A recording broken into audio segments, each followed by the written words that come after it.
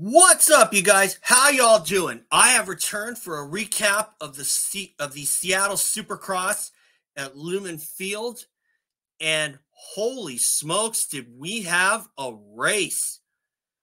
Now I did watch the replay, although I because I didn't watch it live because I was out covering uh, Hawaii softball and a doubleheader with uh, UH versus CSUN, and you'll see a recap video for that. But before I get to the Seattle recap for the recap for Seattle.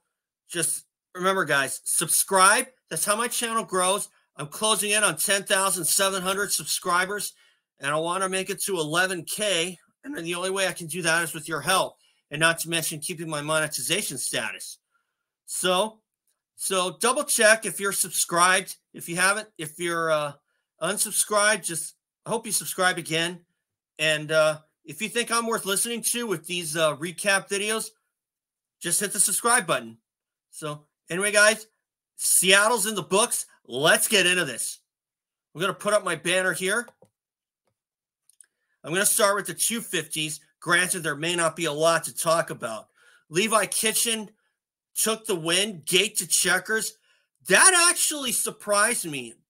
But then again, at the same time, it didn't because because Levi Kitchen is a Seattle or a, a Washington native. He's from Washougal, Washington. Wouldn't surprise me if he actually lives on or near the Washougal property, the Washougal track, you know, you know, the Washougal track.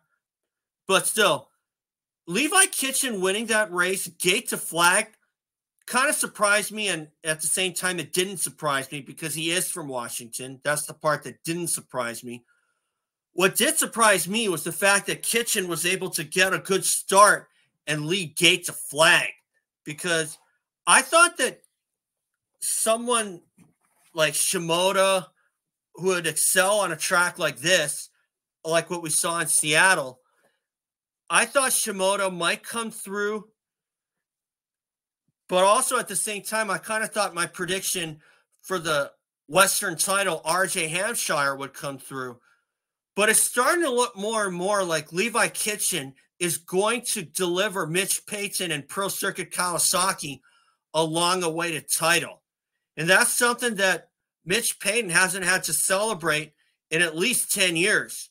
Because the last guy I can remember for Pro Circuit who won a title was probably uh, Broc Tickle. And the closest that they got was probably Joey Savatgy in 2017 until Zach Osborne put him down on the final lap. And uh but then again, this is completely off the top of my head because I know that Adam Cianciarulo didn't win the East title in in 2019, and I think Austin Forkner also lost out on the Western title as well this the very same year. And uh you know, quite frankly, Levi Kitchen, if you're looking for someone who can deliver, Kitchen seems to be the guy for Mitch Payton. And uh, I gotta wonder if uh, if Shimoda might be regretting going to Honda again, going back to Honda after how terrible the Kawasaki supposedly was last year. And last year, their pro circuits pro circuits force was pretty much depleted because because of injury. I mean, Forkner was out, Cameron McAdoo was out. Just about everybody except Joe Shimoda had gone down within within injury. And now Max Vohland is out for the rest of the Supercross season.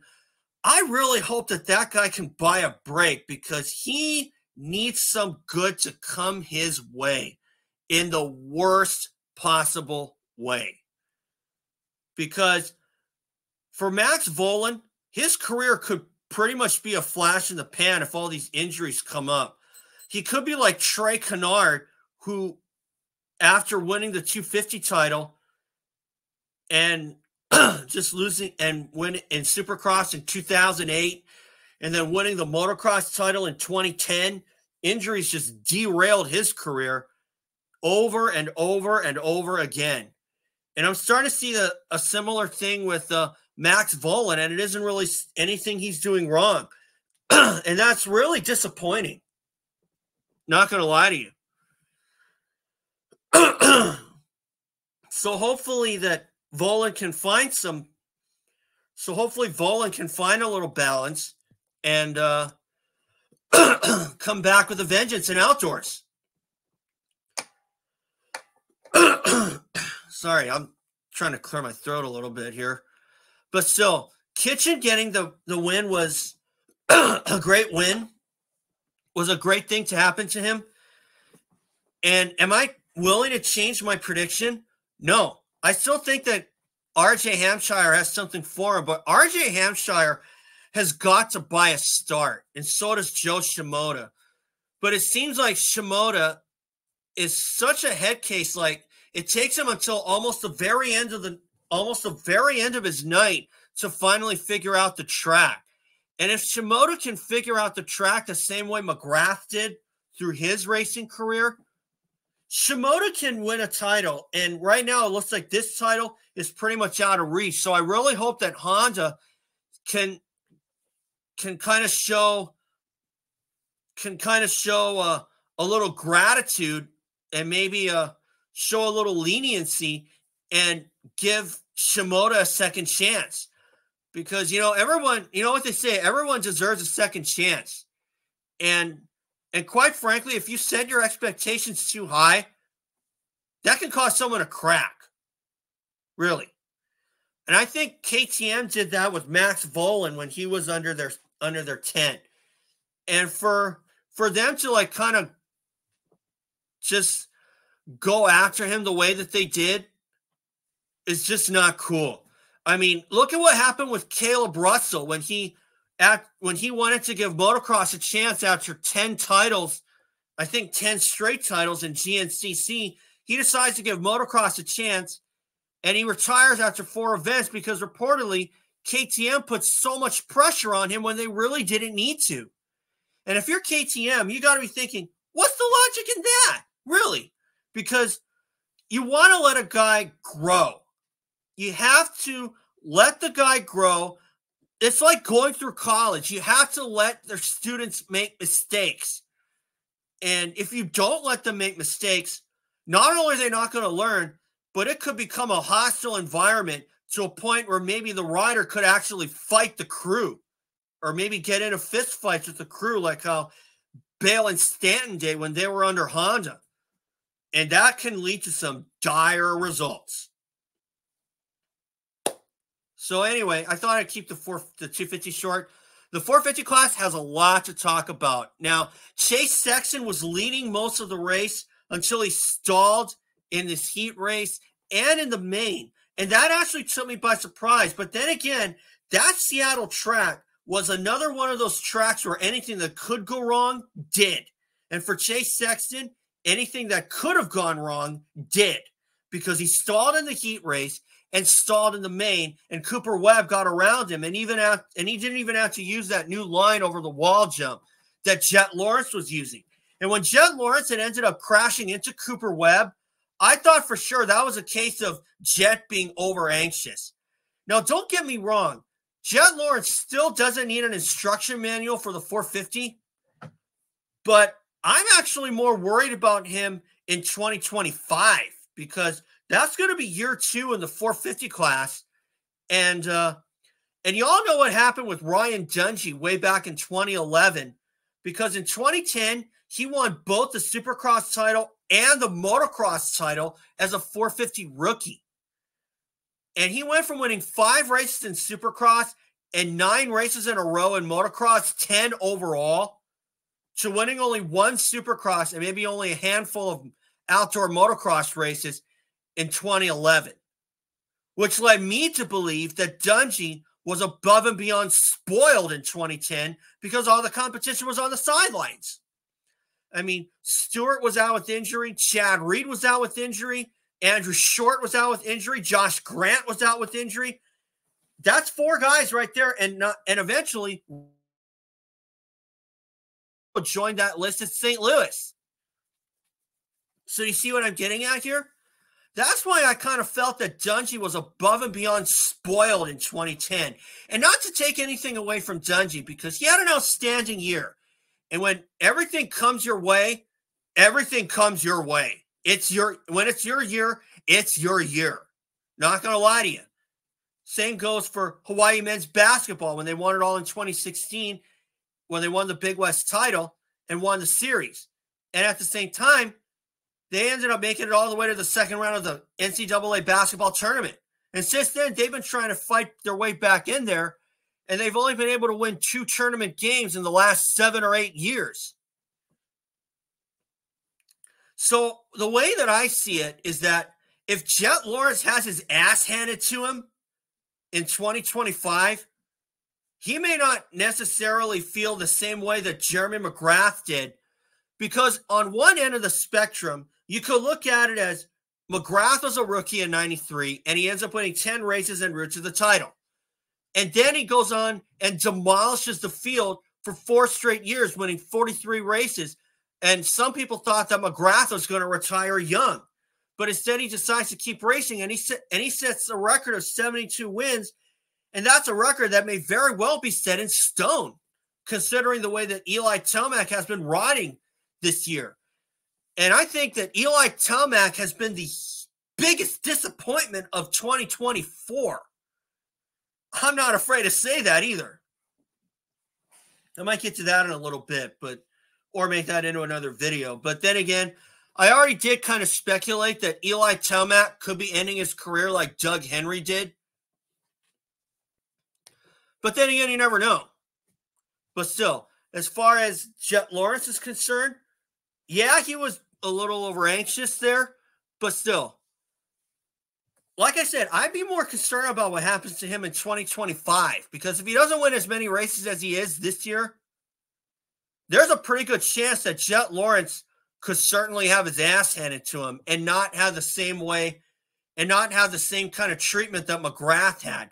And like I was saying earlier, when you look at it on one side of the spectrum, Jeremy McGrath was a rookie in 93 and he got away with it for four years. And then Honda comes out with a new Honda comes out with a new bike, and uh, it got to a point where McGrath hated riding that bike, and he ended up signing with Suzuki for 97. Okay. I hope you see where I'm getting at here because I mean, a lot of you could say that, oh, well, Jeremy didn't get away with it. He has so much natural talent. That's right. Am I saying he got away with it? No. Am I implying he got away with it for so long? No.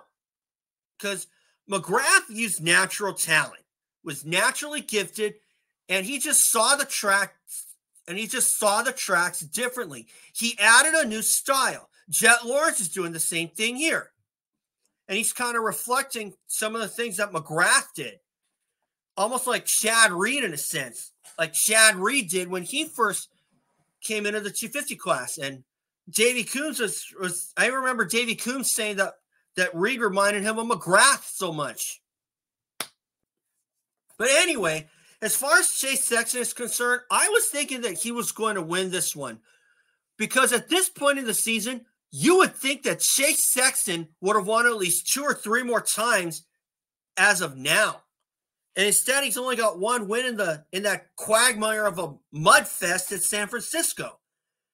And I thought, well, Sexton, he needed that win.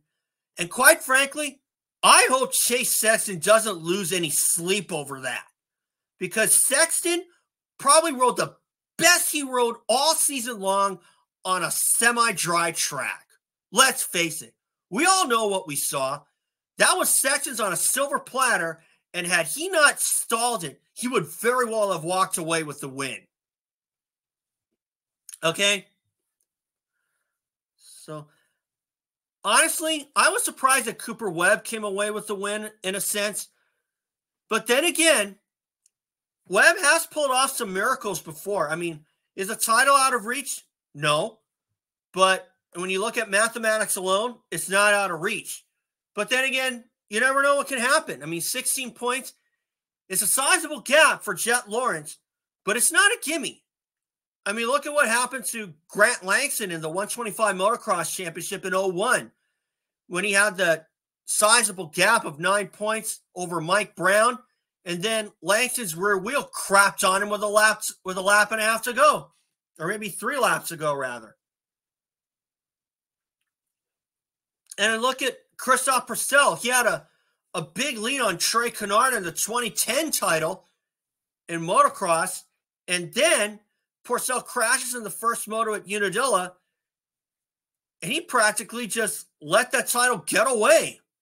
Not going to lie to you.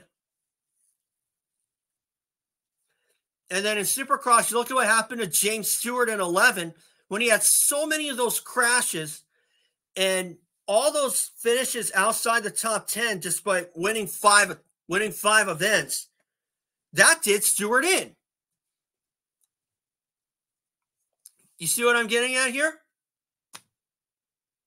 So, I mean, you never know what can happen with 16 points. And, and of course, as Greg Albertyn once said, anything can happen at any time. Nobody's not human. Jett Lawrence is human. He's proven it. Even after sweeping the motocross season last year, something that I thought would never be done again after James Stewart did in 08. So you never know what can happen. I mean, Jett could fall and break an ankle or or twist his or twist his knee or he could have a mechanical problem, and you sure hate to see the title being decided that way. So, anyway, guys, that's all for today. And remember, subscribe. You'll see a recap video on uh, the last softball game that I attended, the doubleheader or three game series with University of Hawaii versus Cal State Northridge. This is for softball, like I said. You'll see a recap for that later in the week. And in the meantime, thanks for watching. And remember, subscribe, and we'll see you all for the next race. So thanks, guys. Catch you all later. Subscribe, everyone.